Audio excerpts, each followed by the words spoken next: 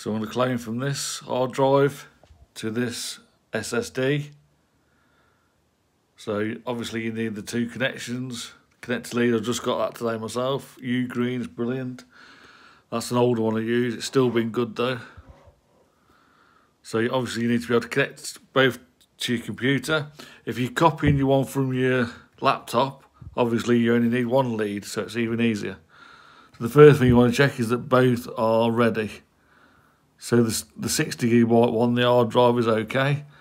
The SSD is saying unallocated, so I'll just create partition. If you ain't got AOMEI, download it. Even the free version is worth having.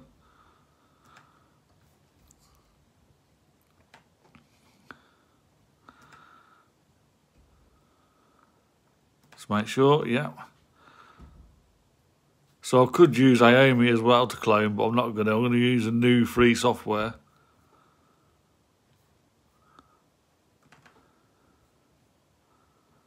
It's called MultiDrive.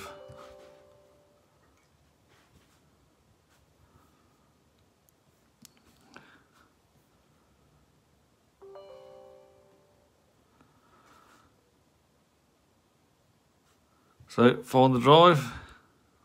In fact, I'll just go to clone first. Just select the 60 gigabyte and I want to go to the target, which is the SSD. Clone. Type in yes. And there you go. It's going to clone one to the other. Totally free. And you can do three or four jobs at once. You can do about 12 jobs at once. I don't know what the limit is, but it's called MultiDrive because you can use it for multiple things. Like I can go and do a backup now. I can do a restore or clone or erase. Brilliant tool. Go back to the dashboard. 25 minutes left.